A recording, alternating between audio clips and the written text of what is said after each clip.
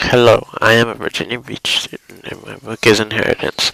Inheritance was written by Christopher Paolini and is the fourth book in the Eragon or Inheritance Cycle, series.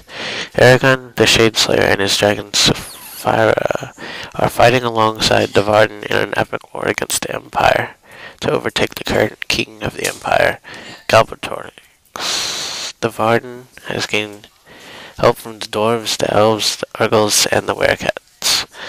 Eragon has to fight his birth brother, Murtagh, who has chosen to side with Galbatorix. Battles, blood, dragons, and magic are all part of this huge war between the Varden and the Empire. Those have who have read the first three books in the Eragon series have quite a treat in inheritance, for the end is finally here. Anyone who loves fantasy with dragons and magic, or loves battle and war, and has read the first three books of Eragon, should read this book.